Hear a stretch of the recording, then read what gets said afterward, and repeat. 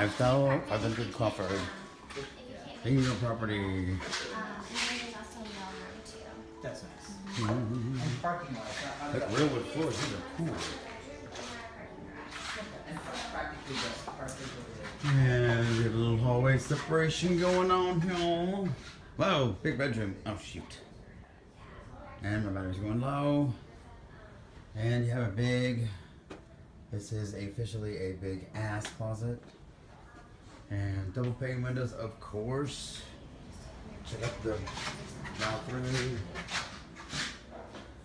Let's check it out. And comes with garden tub. What's this?